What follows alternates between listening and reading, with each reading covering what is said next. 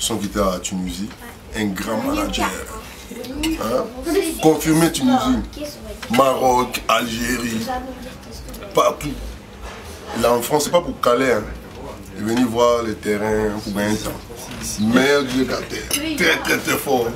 Mon fils.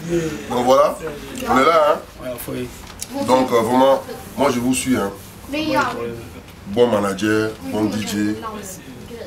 Petit vacances à Paris, au Zalaka. Coupez-moi ça là. C'est bon.